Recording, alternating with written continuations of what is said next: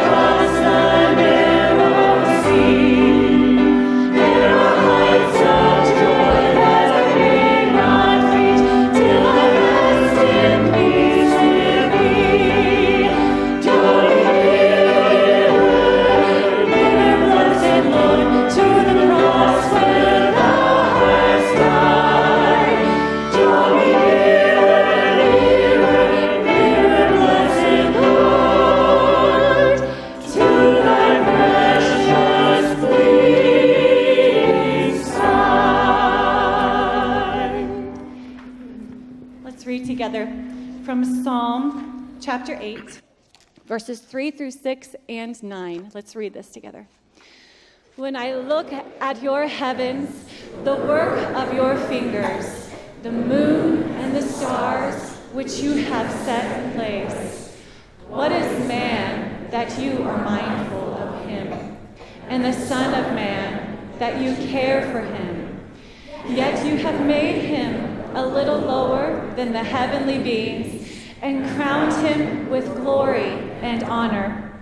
You have given him dominion over the works of your hands. You have put all things under his feet. O Lord, our Lord, how majestic is your name in all the earth.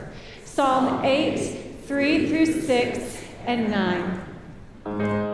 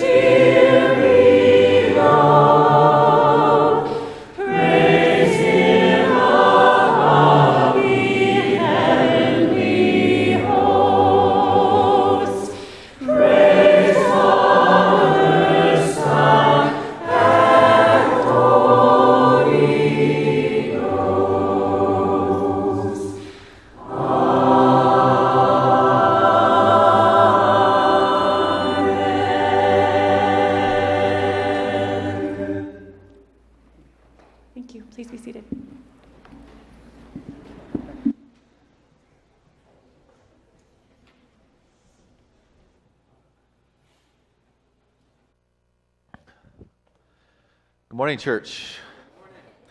We have been called to come and worship God together. And so, how good it is to follow the call of God, to know that we are right now in the will of God, to be worshiping together, to be able to unite in our faith in what has happened to us by the forgiveness of our sins through Jesus Christ, by having faith in Him alone.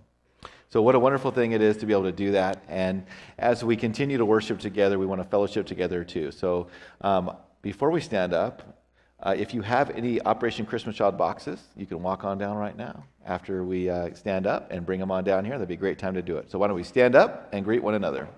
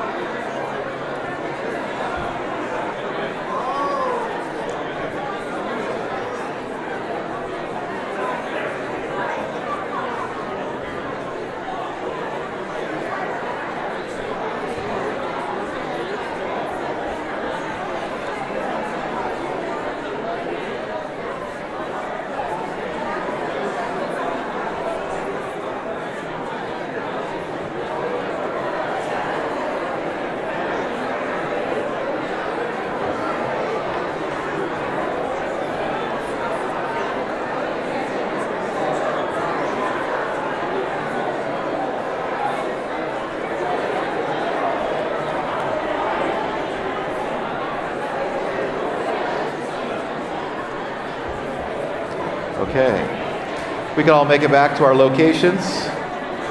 We're going to read the scriptures together. And our scripture of the month is Philippians 4 6. As Thanksgiving comes, as this holiday of being thankful for what we have, we want to make sure that we are thankful to God above all things. So, why don't we read together Philippians 4 6? Do not be anxious about anything, but in everything, by prayer and supplication, with thanksgiving, let your requests be made known to God. Philippians 4 6. You may be seated. Now we have some announcements.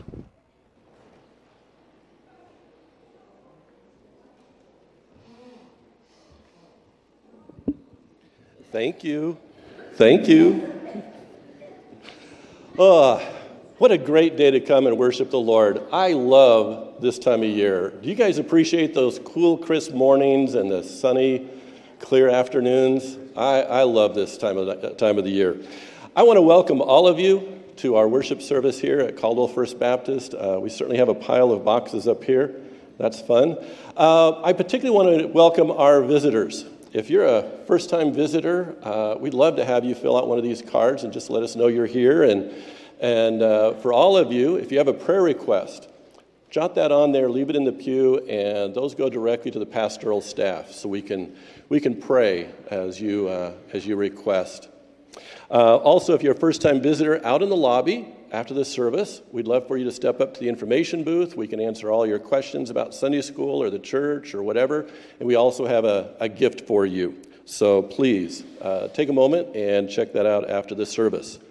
Well, tonight is the annual Christmas hymn sing. This is a group that travels around to different churches. They always land here at the end of the end of the season. It will start at 6:30, and it certainly has a Christmas theme. And it's nice to kick off the holiday season with a old-fashioned Christmas hymn sing. So if you'd like to join us tonight at 6:30, uh, it'll be right here in the sanctuary, and I think there are some refreshments. So, uh, men's breakfast. I've announced this the last couple of weeks. It will be next Saturday. It's at 7:30 in the morning, discussing Christian violence from two perspectives: pacifism and just war theory.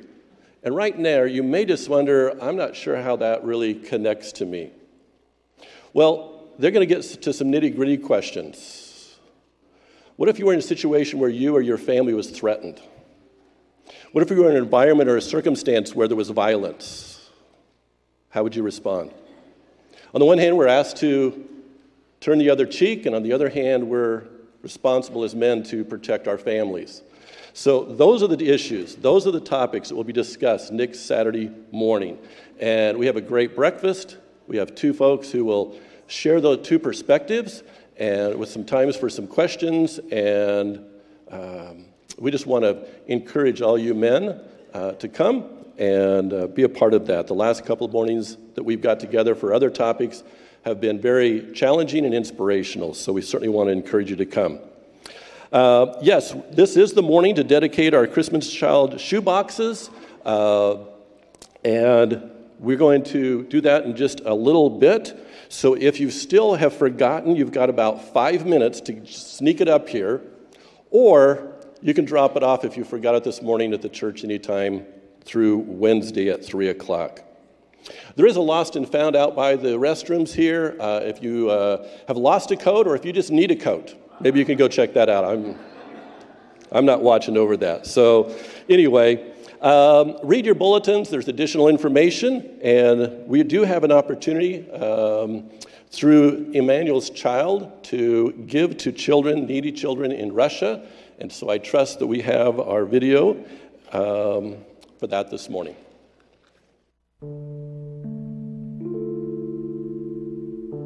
Every year at Christmas, there is a great opportunity to reach out to children on the other side of the world with the wonderful gospel of Jesus Christ.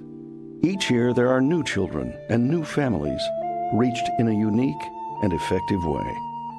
This opportunity is the SGA sponsored Christmas outreach, Emmanuel's Child. Thank you so much to all who have participated year after year. But to anyone new to the program, here is how it works. The connection point is the Emmanuel's Child Bethlehem Star. One star for every child you want to support. Pick up your stars, take them home, and sign the Russian half. Hang the English half on your tree as a reminder to pray for each child who will receive the stars and gifts.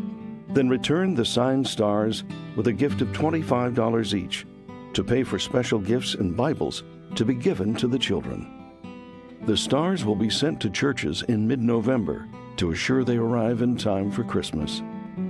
Then, during evangelistic services around January 7th, when they celebrate Christmas, each child will receive the star, along with the gifts selected by the church and a Russian language children's Bible. The Bible believing churches in these nations have been effectively using Emmanuel's Child as a tool to reach out to their communities for many years. They have touched thousands of children and their families with the gospel. Last year alone, over 30,000 children were reached through Emmanuel's Child, along with over 13,000 adults. So it continues to be a very effective tool for outreach across Russia, Ukraine, Belarus, and Russian speaking Central Asia. Thank you for taking part this year. Your involvement can make an eternal difference in the lives of untold thousands of children and their families. Their faces tell the story.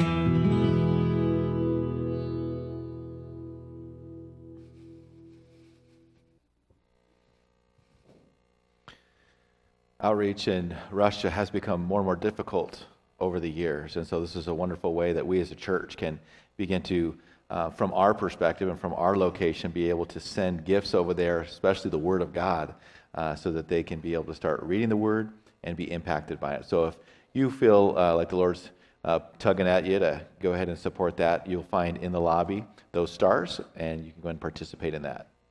Well, we have here our Samaritan's Purse Operation Christmas Child boxes. As you can see, there's a lot of them, so thank you so much, everyone, for turning these in. Every one of these boxes represents a child that this is going to. There's going to be uh, a gospel track in there. There's going to be people who are Christians who are delivering them, and there's also going to be the proof that Jesus Christ loves these kids. And so, how wonderful that we're going to be sending these. Thank you, everyone who has brought those along. And um, we're going to make sure they, they get where they're supposed to go. And we want to make sure we also pray over these boxes because we're going to ask that once they leave our presence, that the Lord would take them and use them for His glory.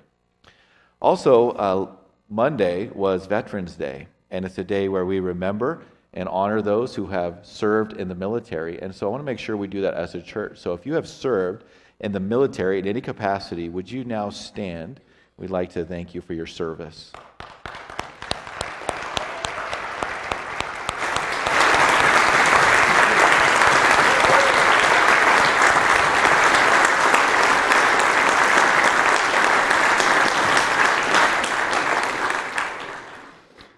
Thank you so much for everything you did. And we thank, give thanks for all those who, who aren't here as well, who served. And so we want to pray for all those in military service today, as well as our prayers for Operation Christmas Child. Well, this is the time for our offering this morning. And if you're new here this morning, I want to just mention that this is something that we, as the family of worshipers, participate in. This is our act of worship that we do on a regular basis. And so you don't have to feel any compulsion to give this morning. We're just glad that you're here. But for the rest of us, this is our way that we um, understand that God has given us everything we have and that we want to give towards Him and release our funds so that God can use them for His glory. So as we prepare our hearts to do that, would you bow with me in a word of prayer? Heavenly Father, we bow down to you in our hearts this morning. For you are the potter and we are the clay. We ask that you do mold us into the image of Jesus. You have taken us and brought us into your family, and now we pray that you would make us more and more look like your children, that we would do what a child of the king would do, that we would say what a child of the king would say. And Lord, we want to pray for those serving in uniform. We pray for your hand of grace to be over them, that they would seek you. For we know that when people seek you, you can be found. And we pray for their protection and for them to make wise decisions that would honor you. We know that they're put in situations where they have to make life and death decisions. And so we pray that you would give them your wisdom and that those who follow you would share your wisdom of the gospel of Jesus Christ with everyone they meet. Lord, we also pray for the sick and infirmed among us, that you would provide sustenance and help to meet their needs. We pray that you would guide them to health. And we pray that those who are physically failing would show those around them that though they are outwardly wasting away, inwardly they are being renewed day by day. And the belief that the resurrection of our new bodies is a reality for all of us who are saved by your grace.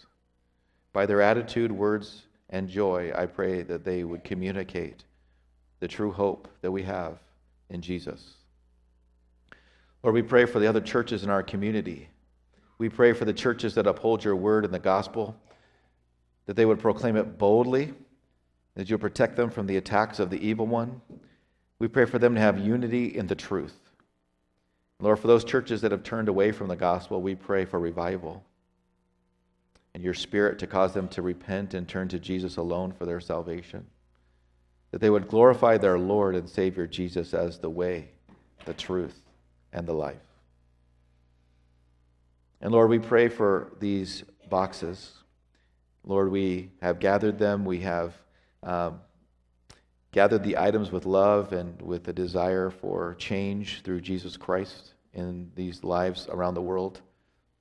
We think about those kids that are less fortunate and those struggling.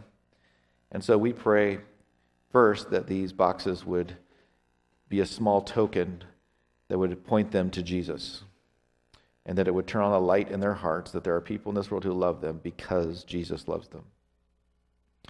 And Lord, we pray that you would um, guide every one of these children that receive these boxes to faith in you.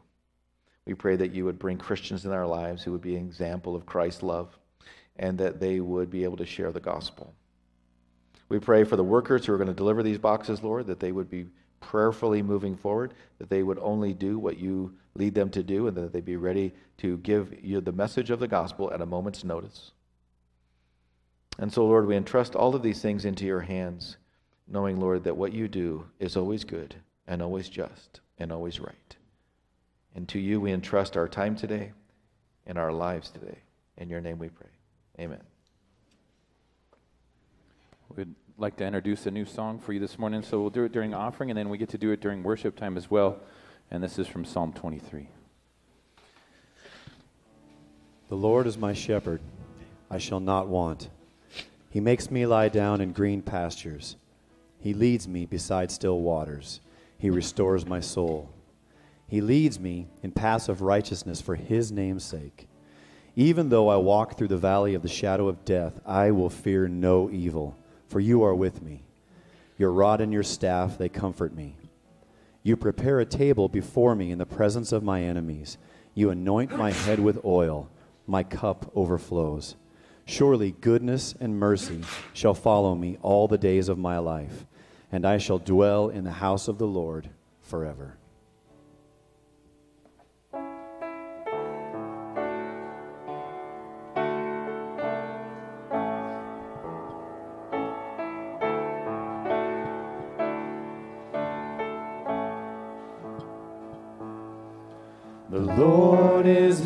Shepherd, I shall not want. In green pastures he makes me lie down. He restores my soul and leads me on for his name, for his great name. Surely goodness, surely mercy, right beside me all my days, and I will dwell in your house forever and bless your holy name. You prepare a table before me in the presence of my enemies. Though the arrow flies and the terror of night is at my door, I'll trust you, Lord. Surely goodness, surely mercy, right beside me all my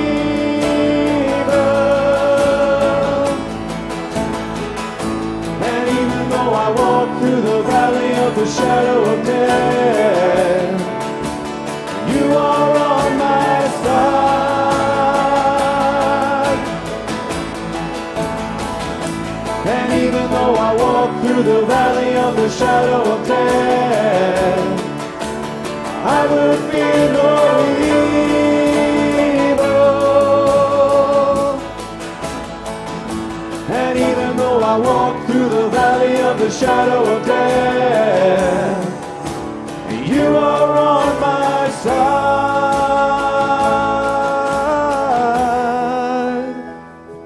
Surely goodness, surely mercy, right beside me. All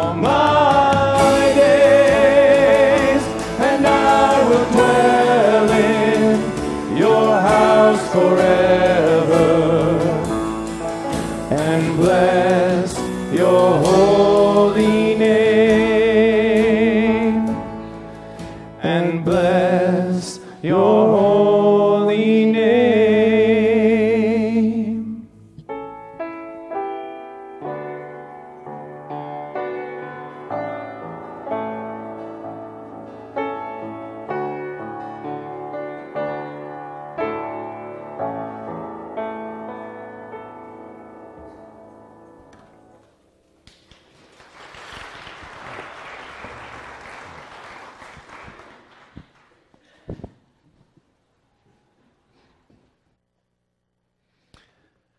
Well, the children can now be dismissed for Children's Church. Please head straight to the back, and there'll be someone to help take you downstairs and have a lesson from the Word of God. I invite everyone else to open up your Bibles to Acts chapter 15. Acts chapter 15. Our text today covers two chapters, Acts 15 and Acts 16. And last week, we read about the Jerusalem Council and the determination that salvation was by grace alone. And today we look at the results of this decision as Paul and Barnabas decide, what shall we do next? So we'll start in verse 36.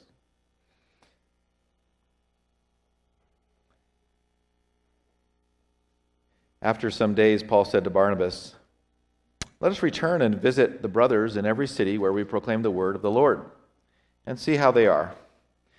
Now, Barnabas wanted to take with them John called Mark, but Paul thought best not to take with them one who had withdrawn from them in Pamphylia and had not gone with them to the work. And there arose a sharp disagreement, so that they separated from each other. Barnabas took Mark with him, sailed away to Cyprus, but Paul chose Silas and departed, having been commended by the brothers to the grace of the Lord. And he went through Syria and Cilicia, strengthening the churches. Paul came also to Derbe and to Lystra. A disciple was there named Timothy, the son of a Jewish woman who was a believer, and his father was a Greek. He was well spoken of by the brothers at Lystra and Iconium. Paul wanted Timothy to accompany him, and he took him and circumcised him because of the Jews who were in those places, for they all knew that he, his father, was a Greek. As they went on their way through the cities, they delivered to them for observance the decisions that had been reached by the apostles and elders who were in Jerusalem. So the churches were strengthened in faith, and they increased in numbers daily. And they went through the region of Phrygia and Galatia, having been forbidden by the Holy Spirit to speak the word in Asia. And when they had come up to Mysia, they attempted to go into Bithynia, but the Spirit of Jesus did not allow them. So passing by Mysia, they went to, down to Troas. And a vision appeared to Paul in the night. A man of Macedonia was standing there, urging him and saying, Come over to Macedonia and help us. When Paul had seen the vision, immediately we sought to go on into Macedonia, concluding that God had called us to preach the gospel to them. May the Lord bless the reading of his word. Back in the 1990s, I purchased my first four wheel drive vehicle. It was an Isuzu Trooper. It was rather old and used up. It had been a Midwestern 4x4, which tells you that because they use salt on the roads throughout the winter, that it was a rust bucket. But I love that old rust bucket, especially when it snowed and everybody else was spinning out into the side, and I would just drive on through. Well, after a while, I had this four wheel drive, and, and it started doing a funny thing. When you would start it up, the ignition solenoid would snap because there was an electrical problem with the current, and so it would bust it so you couldn't start it anymore. So I would have to go get a new solenoid and then put it in, but then it started doing that on a reoccurring basis. Basically, every time the car was driven for a while, then it would pop the solenoid, it would break it. So I got to a point where I had about three or four of these solenoids, and I had broken them apart and re soldered them together, and then I would continually use them on a regular basis. So I told my wife about my awesome plan that you would every time you had to restart the car when you were out for a drive or you went out to the store, you'd have to pop up the hood and put a new solenoid in there just to get home. She did not think this was a good plan. As a matter of fact, one day she was driving the trooper through one of the busiest parts of Chicago, which was Chicago Avenue and Michigan Avenue, the intersection there. And right in the middle of the intersection, it died on her, and she tried to restart it, and guess what happened? It died. And in Chicago, they let you know if you're in their way. So they started honking like crazy, and here she is stuck in the middle of this intersection with nothing to do. And so people are getting angrier and angrier and angrier, and then all of a sudden she hears somebody call her and says, Hey, Becky. Well, my wife's name is Bethany. And um, it actually ended up being my old roommate in college. And uh, he was from South Korea, and he came up to Bethany and he said, Hey, Becky, can I help you move your car? What's the trouble? And she said, Yes, you can. So he got behind and pushed it, and they pushed it out of the way, and they finally got it moved. I tell you that story because probably all of us can relate, because you've all probably had a jalopy in your life, right? And jalopies can be frustrating. And I'm sorry to bring back some painful memories. Some people are going, Why are you talking about this now, Pastor? I thought I, I'd try to forget that era. Some of you still have that era to come, so you have something to look forward to. It's frustrating to have a tool or a vehicle that is intermittent, it's temperamental, and sometimes just quits on you and doesn't work. So imagine what God has to deal with with us. We are intermittent, we are temperamental, and sometimes we just don't work.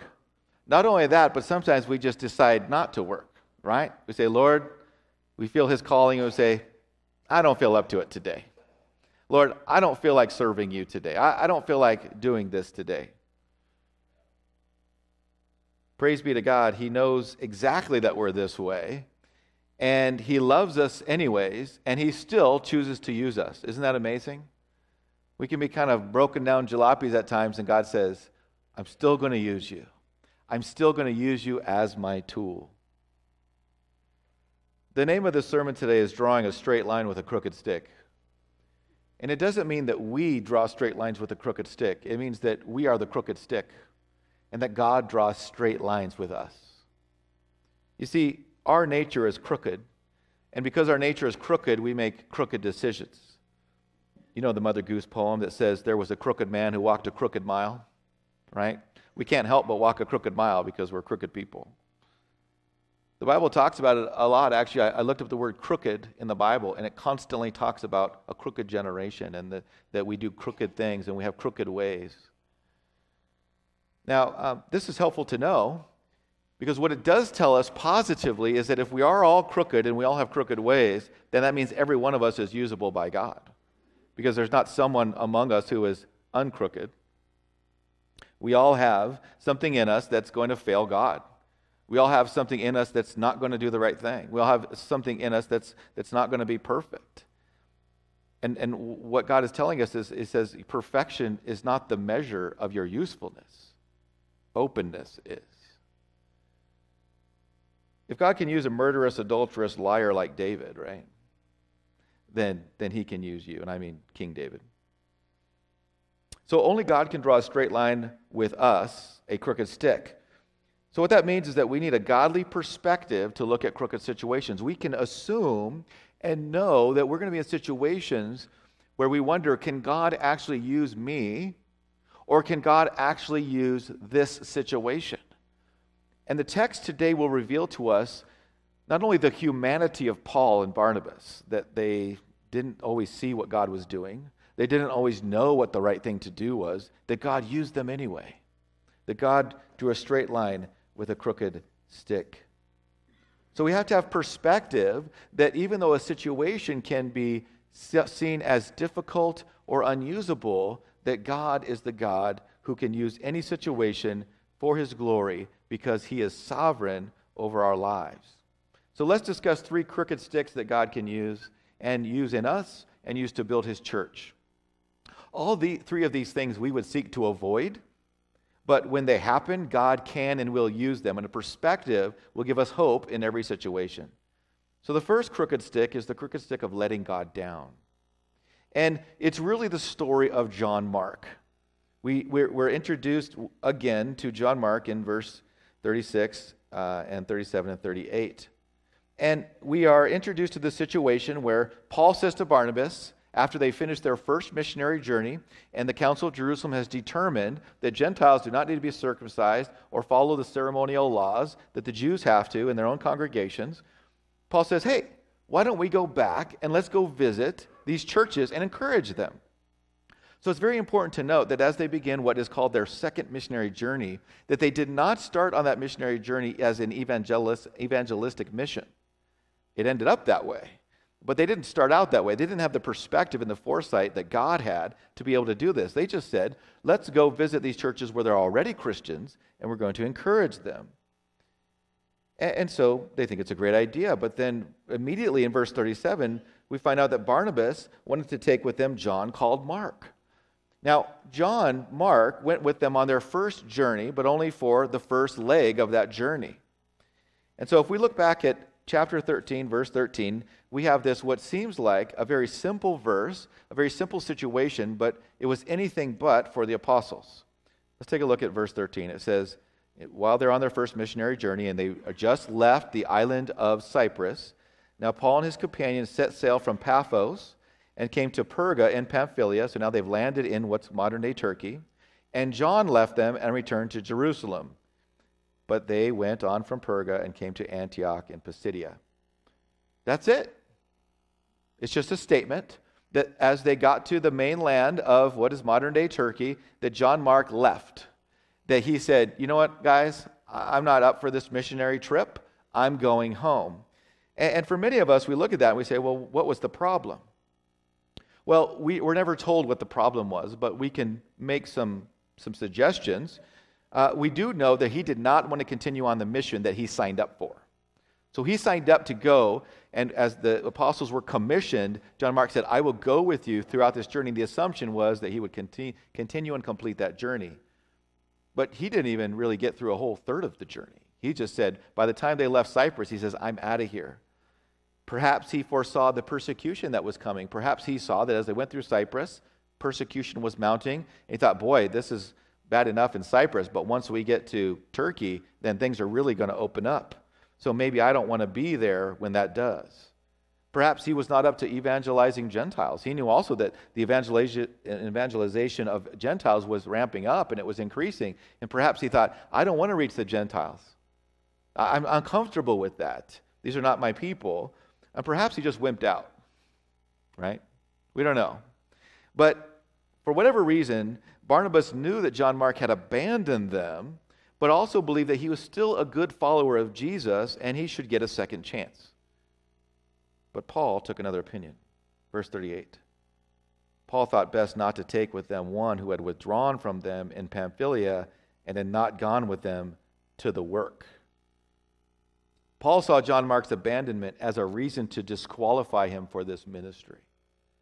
Barnabas was the encourager. We always see him encouraging and lifting other people up. So Barnabas's uh, reaction to John Mark is not surprising. As a matter of fact, he'd actually done the same thing with Paul when people didn't want to associate with Paul. He's the one who brought them, brought him to Jerusalem and said, "You guys need to accept this guy. He's a true believer." He's doing the same thing with John Mark, but now it's Paul who's resistant, and he says no because one of the things we understand about Paul is that when Paul is in ministry, when Paul is evangelizing, he is a warrior.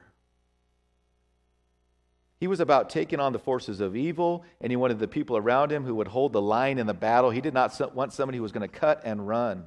He didn't feel he could take a man into battle who would cut and run at the first sign of resistance. And I can understand that.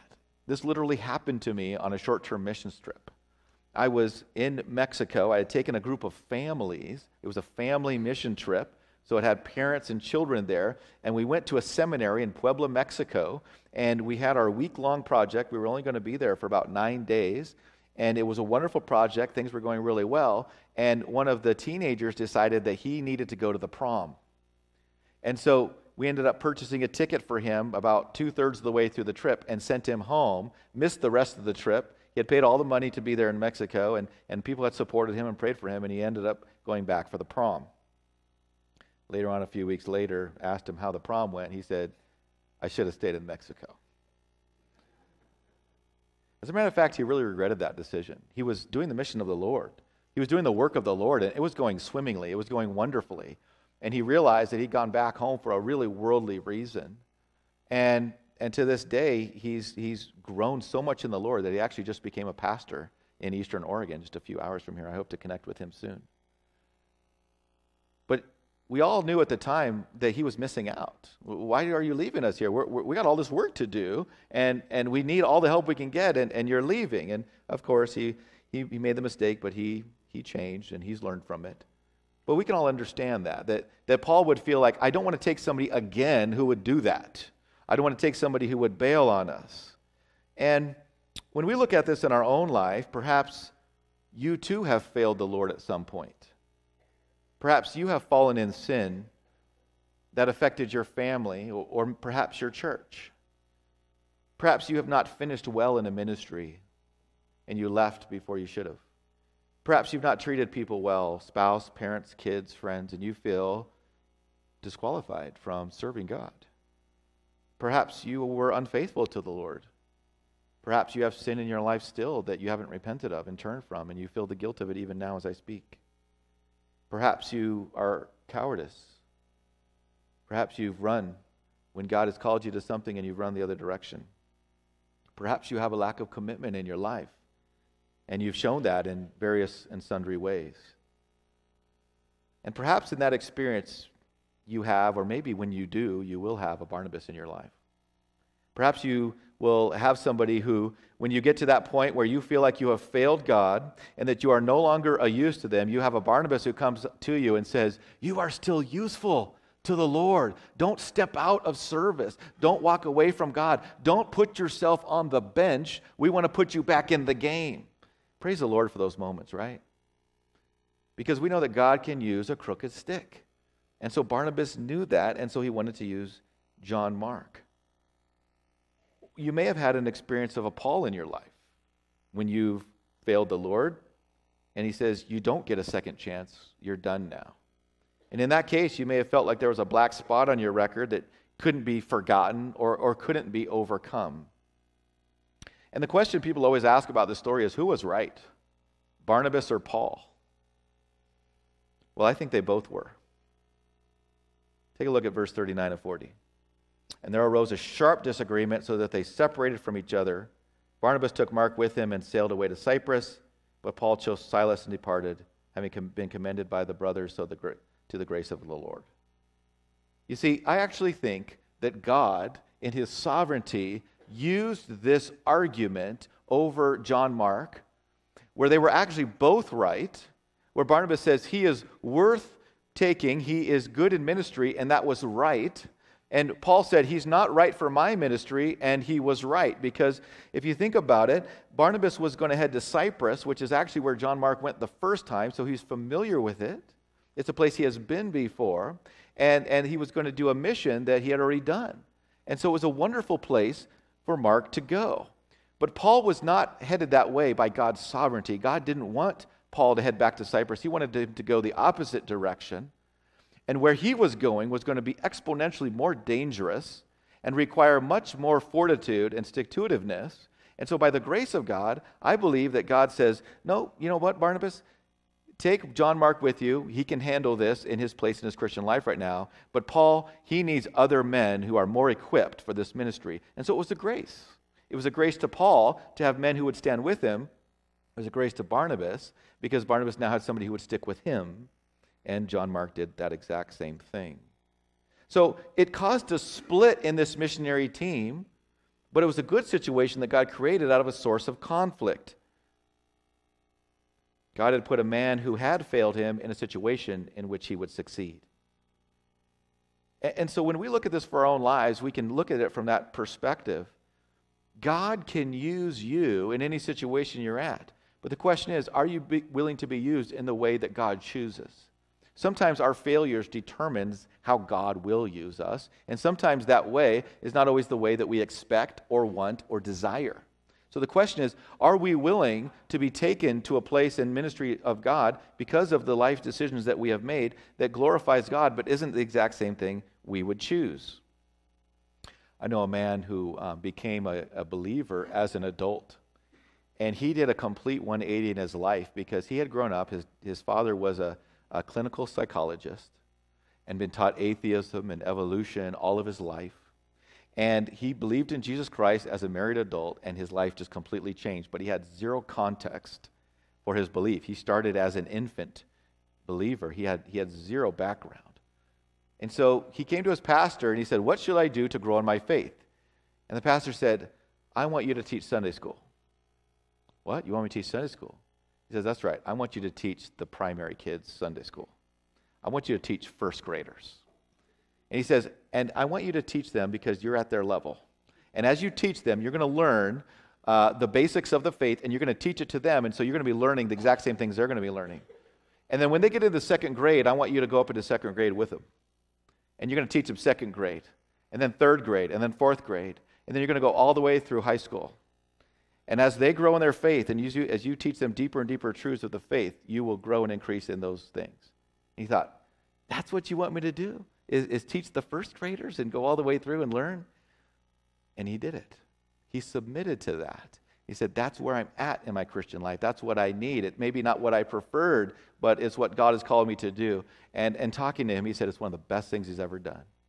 He actually walked through those kids for their entire uh, childhood years, and it was an absolute blessing to both groups of people. You know, it's encouraging. Uh, we, before we move on from John Mark, we have to remember this. Though Paul separated from Barnabas because of John Mark, Paul later on came to greatly appreciate John Mark. He changed in his views. Later on, Paul saw the value in John Mark and treated him like a true brother. I just want to read for you 2 Timothy 4.11. And 2 Timothy was written at the end of Paul's life. And this is what he says towards the end of his book. Luke alone is with me. Get Mark and bring him with you, for he is very useful for me for ministry. Isn't that awesome? He says, You know who I really could use right now to help me and benefit me in ministry? Mark. John Mark. Because not only is a friend, he's useful to me in ministry. So, a man that Paul had previously said, He is not useful to me. He says, Now I've come to see him as useful. And as we know, John Mark went on to write the book of Mark, which is the book we read previously to the book of Acts. He was actually a scriptural writer inspired by God Himself. God can draw a straight line with a crooked stick. The second crooked stick is the crooked stick of broken relationships. Let me read again what happened in verse 39. And there arose a sharp disagreement so that they separated from each other. Barnabas took Mark with him and sailed away to Cyprus, and Paul chose Silas and departed, having been commended by the brothers to the grace of the Lord. And he went through Syria and Cilicia, strengthening the churches. Paul came also to Derbe and to Lystra. A lot of people look at this story and they see a tragedy, but I would actually say that we see the sovereignty of God working in this tragedy. You see, Paul and Barnabas had a serious disagreement, and neither one of them would budge over the issue of John Mark. Barnabas believed so heavily in using John Mark that he decided that he would split from Paul over the issue. Paul believed so heavily they should not take John Mark that he was willing to split with his good friend and partner in ministry. So the band broke up, and they went their separate ways. And we've seen this happen in the church over and over, have we not? Sometimes people in the church don't see eye to eye. Sometimes it's unclear which of them are right. Sometimes we look at people who don't see eye to eye in the church, we go, I can see both of your positions. Sometimes you can see the arguments posed by each side. Sometimes it does lead to a breakup. It may be a couple of people in the church, like Euodia and Syntyche in Philippians, who just couldn't get along in the church. Sometimes it's an entire church split. I don't like to call them church splits, I like to call them hostile church plants. and when those things happen, we tend to think, how awful and devastating to the church. And, brother and sister, you are right. These are devastating things. But then the next question is can God use that for his glory? Can God even use our relationship problems and our church problems for his glory? What good can come out of this split? Well, I'll tell you what good came out of this split between Paul and Barnabas is out of one team there was created two. And they covered twice as much ground as they would have as an individual group. And then Paul added people to his team. So now the, the, the people who are witnessing are now expanding because they decided to split. And it actually was wonderful Because not only could they cover twice as much ground, but Barnabas headed to his home island where he knew all the people and the culture, and Paul headed in the opposite direction. Notice, look at verse 41, what it says. It says that Paul headed up through Syria and Cilicia. So now uh, Barnabas gets in a boat and heads to Cyprus, and Paul heads the opposite direction. He heads up north through, Cilicia, through Syria and then through Cilicia into Turkey. And so he actually goes to, in, in chapter 16, verse 1, to Derbe, which is the farthest extent that they had gone to the first missionary journey. So Barnabas goes to the first place that they went on their missionary journey, and Paul goes to the last place they had been their missionary journey. And they start from two polar opposite ends and work their way together. And, and so, what a wonderful thing. Now they have two groups working on the same ministry. And so, not only that, but Paul then decides to get a partner. Verse 40, but Paul chose Silas. And, and that's a very simple statement, but what we know of Silas shows us that Silas was actually probably more equipped to do the second missionary journey that Paul was about to embark on than Barnabas was. And I'll tell you why. First of all, Silas was a Jew, Barnabas was a Jew. But it says that Silas was a prophet. And so Silas had an authoritative way of preaching the word of God and speaking for God that would become very handy as they are not only going to go through what is modern day Turkey, but into Greece, into Europe. Not only that, but Silas was a representative from the Jerusalem council. He was an official representative that could take the letter that said that Gentiles do not have to be circumcised or follow the ceremonial law, and he was official. And so he could actually go with authority. But lastly, unlike Barnabas, Silas was a Roman citizen. And so, where Paul was about to go in Gentile lands, this would become exponentially helpful. As a matter of fact, Silas's Roman name is Silvanus. And you'll notice when you read 1st and 2nd Thessalonians that at first it talks about Silvanus greets you. A lot of people don't know that's Silas, same person. Silas was equipped to be able to go with Paul, to be able to go and to minister in these Gentile lands they're about to head into. Could anyone have known that? Only one. Only God could have known that. So you see, when we see tragic, broken relationships, we have to look for what God is doing in it. So let's say someone left the church in a huff. Maybe God will use them to benefit their new church and maybe wake up that church from, from some kind of a slumber or help people or minister to people in ways that, that they really needed. Maybe a church is split and there's bad blood. But maybe God will move them in this split to a more strategic location to be able to reach people that the church they split from wasn't reaching. You see, God can use these situations that are bad and negative for his glory. We serve a God who can take our brokenness and inability to get along and make something good come out of it. So, not every broken relationship is just a tragedy. Sometimes it's a decision that will later glorify the Lord and actually propel his mission into the future. We would never seek these things, but it gives us perspective when they happen. As we try to follow the Lord, we try to do the right thing, and problems happen, we can say, even in the problems, God will sovereignly work. Amen? Third, crooked stick. The crooked stick of misunderstanding God's will. This is the story of Paul and his partners finding their way, and, and it's almost humorous, but it, it, it's so typical of, of our lives as we try to understand what God's will is like. And we see here that, that Paul is starting to gather a crack team of amazing ministers, of courageous men who will serve. And so we see here in chapter 16 that they get to Derbe and Lystra. And in Lystra, there was a disciple named Timothy. You've heard that name before, right?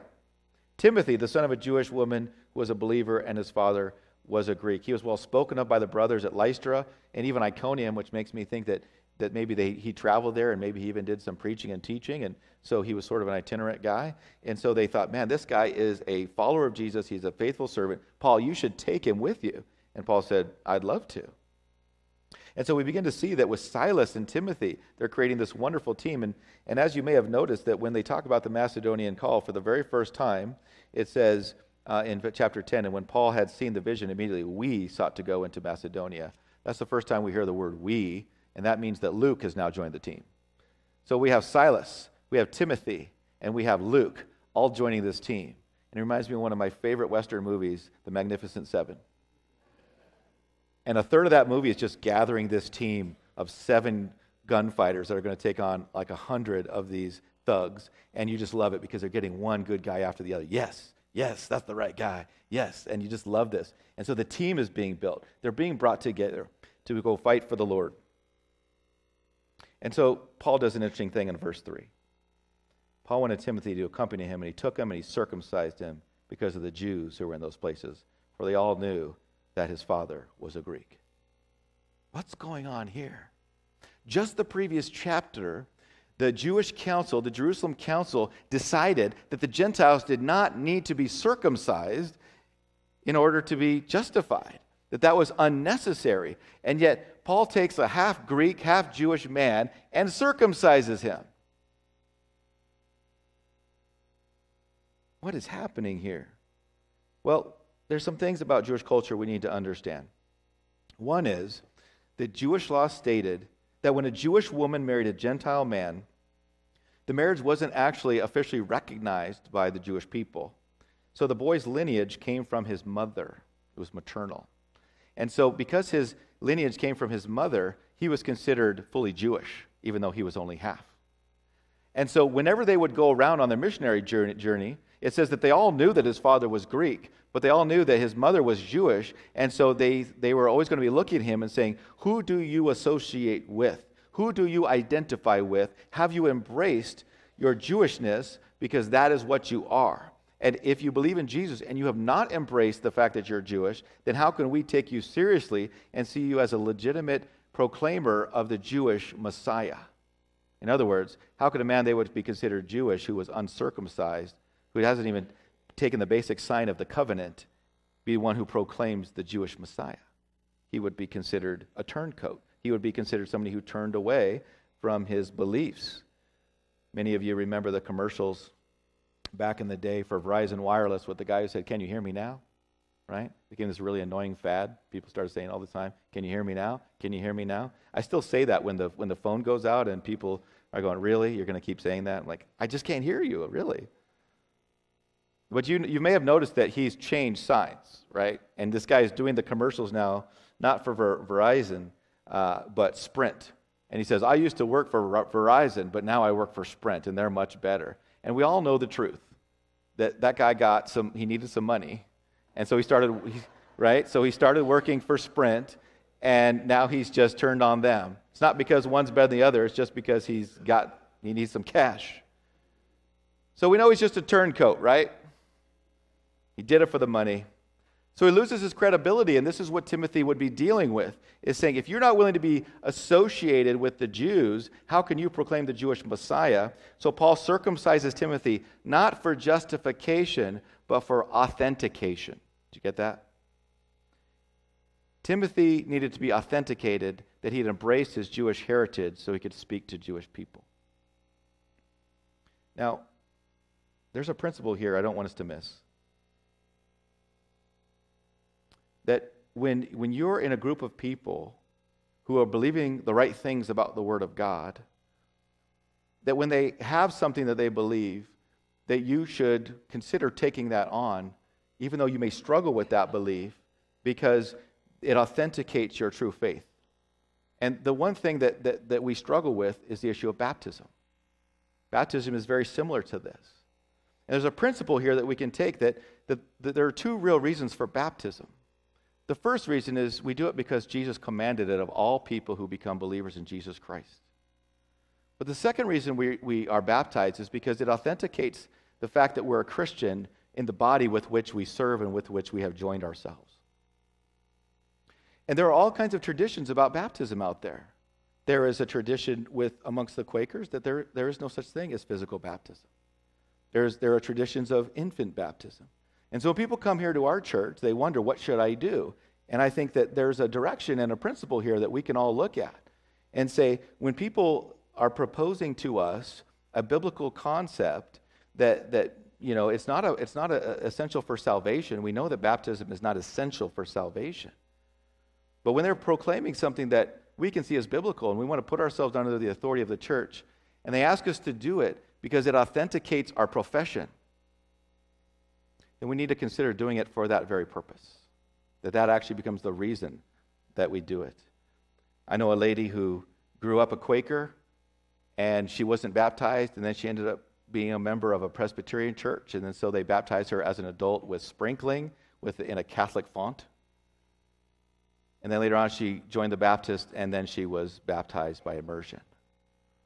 And it was this principle that she used to say, I am placing myself under the authority of that church, and their arguments are biblical, and this is a sign of my authentication of my faith, my true association with the people of God, and therefore I'm going to do it.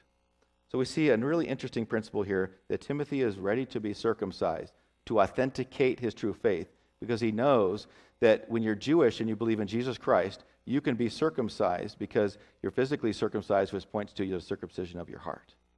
It's a wonderful combination. So then we move on, and there's a misunderstanding of God's will. Verse 6 They went through the region of Phrygia and Galatia, having been forbidden by the Holy Spirit to speak the word in Asia. And when they had come up to Mysia, they attempted to go into Bithynia, but the Spirit of Jesus did not allow them. Imagine what was happening here.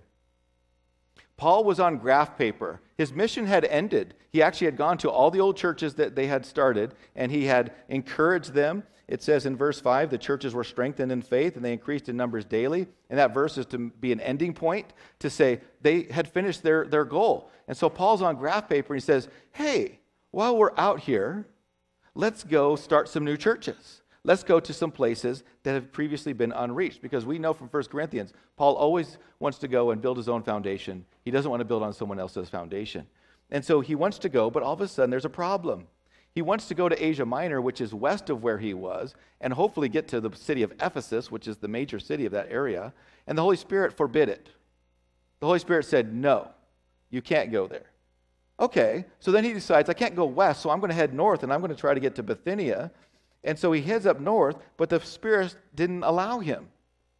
By the way, it's the Spirit of Jesus. We know that the Spirit is Jesus' Spirit who he has sent to guide us, and, and so he is leading us. And the Spirit said no. Well, what, what was happening here? Well, we know that we know that through the Spirit, God speaks to Paul audibly. God speaks to him in visions. God see, speaks to him in dreams. It could have been a, any a combination of those things, but God supernaturally let him know Oh, you can't go that way. Okay, so Paul decides, I'm going to head this way. Uh, no, you can't go that way. And so when you look at the map, what it ends up being is this northwesterly trip that they had all the way through Turkey, not actually hitting any cities, and going through and, le- and avoiding all of the major places of population. And it says that they end up in Troas, verse 8. So passing by Mysia, they went down to Troas. And Troas is, is the end of the line. They get, they, this is a port city. They're here at the ocean. And so there's a wonderful picture here that when you don't know God's will, when you're trying to figure out where He is leading you, just keep moving forward. Just keep stepping forward. And it's encouraging to know that no matter how in tune with God you are, you will oftentimes find yourself perplexed by God's will. I mean, if the Apostle Paul didn't know what God was leading him and he was this spiritual giant, that, that being spiritually connected to the Lord doesn't always mean that you're going to know God's will. Sometimes God has purposefully left you in the dark because He wants you to take one step in front of the other, not knowing where each step leads, so that your dependence will increase. Have you ever had that happen in your life?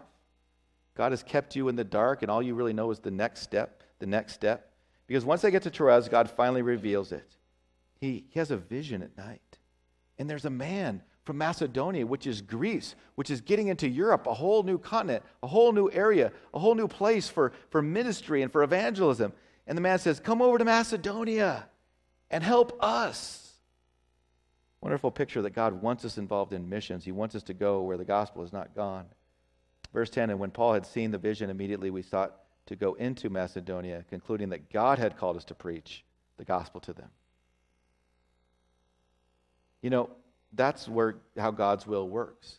He may show you exactly what it is at a certain point, but you have to keep probing. You have to keep moving. You have to keep stepping forward in order to know what God's will is. God can't steer a truck that isn't going forward. Right? You can turn the steering wheel in a truck that's idle all you want, it's not going to turn anywhere. But a vehicle that's moving forward, can be steered, and that's how God works. You got to be moving forward. You got to be serving Him. You got to be probing out His will, and then He will close doors and He will open doors. But you have to be making forward progression in His will to be able to discern what His will is.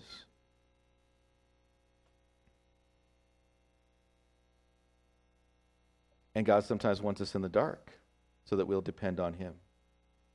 I close with this. You know, we sometimes want to see the end of God's plan, and He's more interested in showing us the next steps. There's a story about a boy named Jimmy who went and visited his grandparents who lived on a farm, and one night his grandmother asked him to go out to the barn and feed the cows. And Jimmy said, But Grandma, I can't see the barn, it's too dark. His grandmother stood on the porch and said, Can you see the well? Jimmy said, Yes, ma'am. He said, Walk to the well.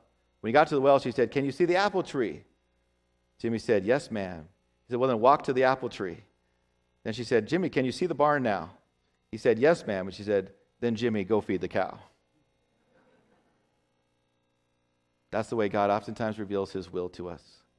So we have to be willing to take the next step, even if you can't see the final destination. So as we close, the perspective we have this morning is, is that God can use any crooked situation for his will. And will we have the perspective to be able to look for God's will in that? Or will we give up on God and say, God, you can't fix this? We have to believe that at the center of it all, that God will use you for his glory because he loves you and he's given you grace and he has a purpose for your life. Would you bow with me in a word of prayer? Heavenly Father, we thank you so much that you will use us, that you will guide us, that you will teach us your ways. And we pray, Heavenly Father, that we'd be willing and ready, that we would not be pessimistic about what seems like destructive situations, Lord, but we would be optimistic knowing that you, God, are not thwarted. Your will cannot be changed, but Lord, your will will be done above all. And we pray for that in your name. Amen.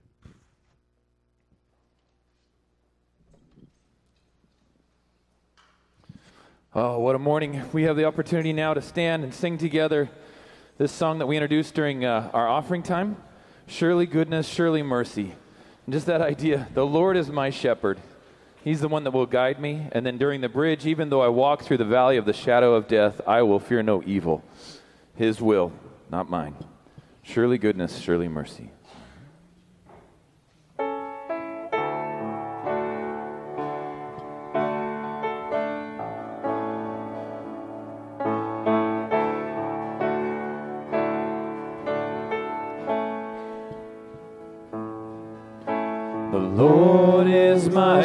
Shepherd, I shall not want. In green pastures he makes me lie down. He restores my soul and leads me on for his name, for his great name. Surely goodness, surely mercy, right beside me all my days, and I will dwell in your house forever and bless your holy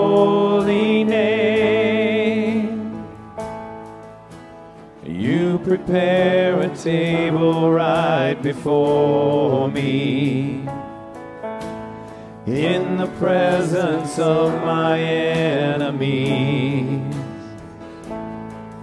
Though the arrow flies and the terror of night is at my door, I'll trust you, Lord.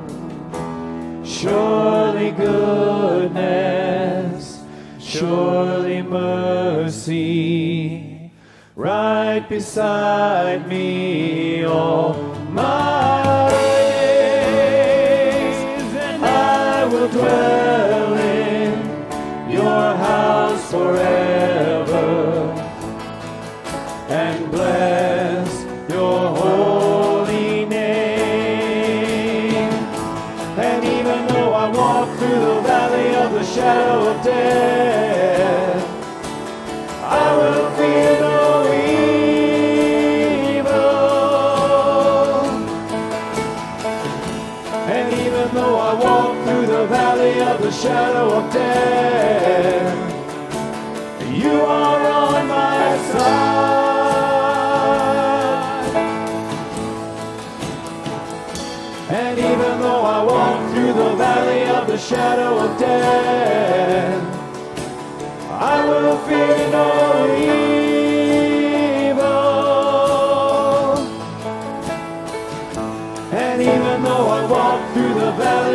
shadow of death. You are on my side.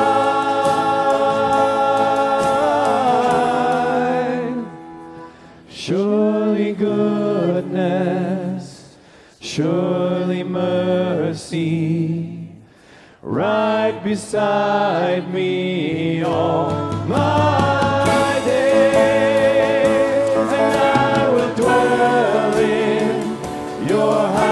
forever and bless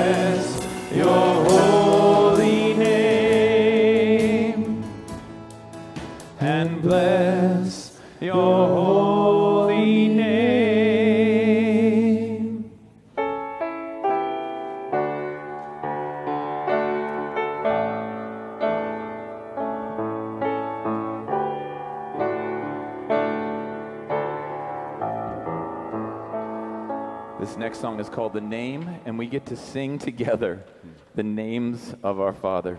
Abba, Father, living water, shepherd, servant, king, master, teacher, Lord, keeper, counselor, prince of peace, almighty creator, Emmanuel, Savior, Adonai, and the rock. And his name, Jesus.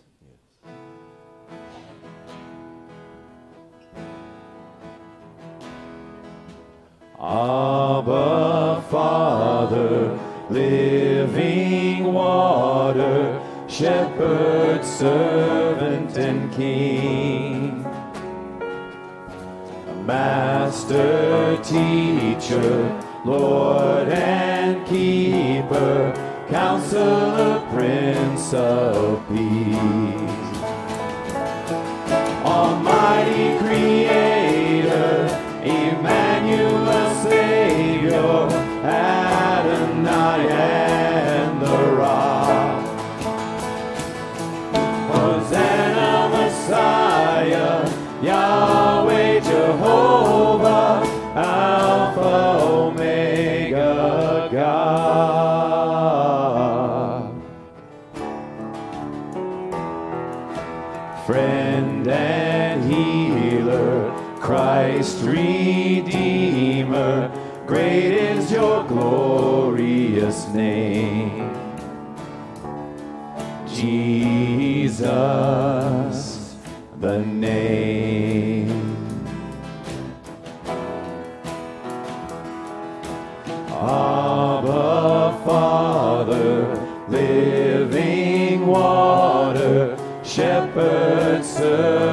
servant, and king. A master, teacher, Lord and keeper, counselor, prince of peace. Almighty Creator,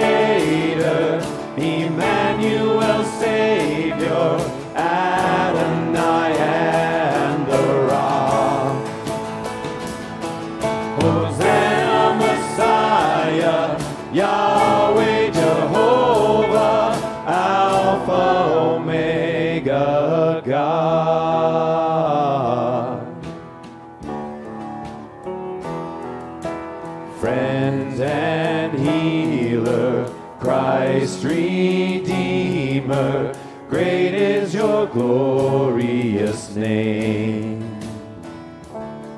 Jesus, the name. He's our friend and healer. A friend and healer, Christ Redeemer, great is your glorious name. Jesus, the name.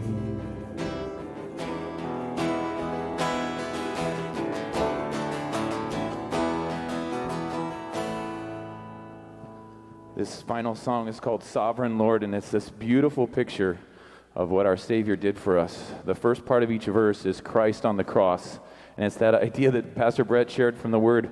When we look and we think, how can this possibly be your will, God? Our Savior is it's a righteous life, but his flesh is torn, his hands are wounded, thorns on his brow, broken heart, enduring scorn. Is this the sovereign Lord? And then we get to answer, destined for the highest place. This is the sovereign Lord. His will be done.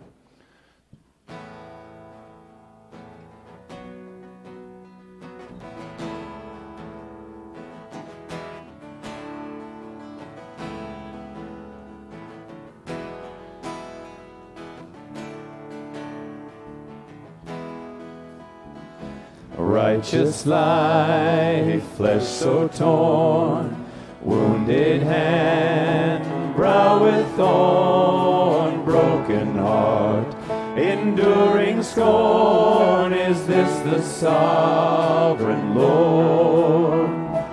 Borrowed tomb, empty space, takes our sin, leaves his grace destined for the highest place. This is the sovereign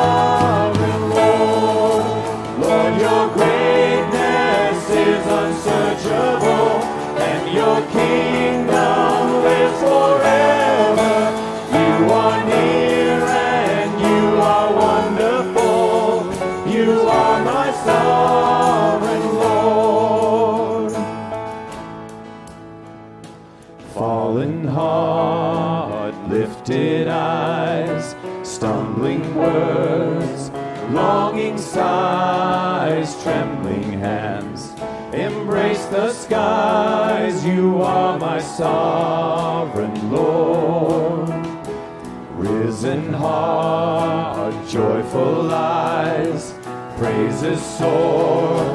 My soul flies, song of life that never died. You are my sovereign Lord. Lord, your greatness is unsearchable,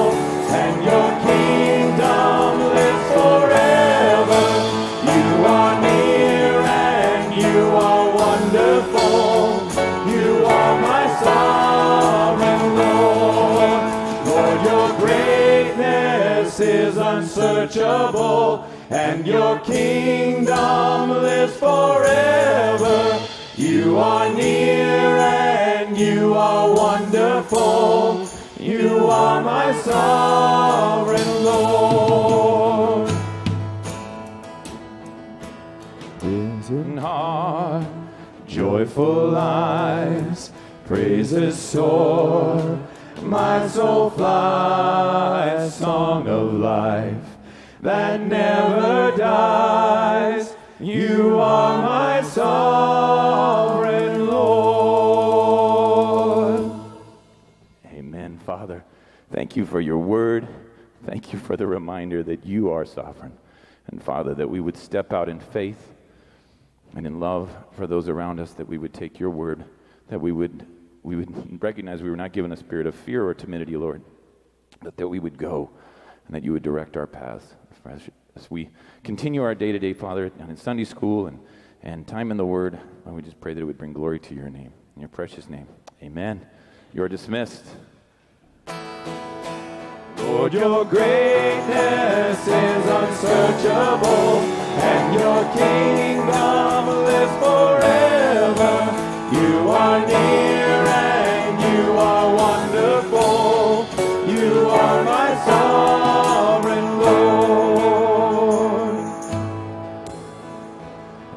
Risen heart, joyful eyes, praises soar. My soul flies, song of life that never dies. You are my song.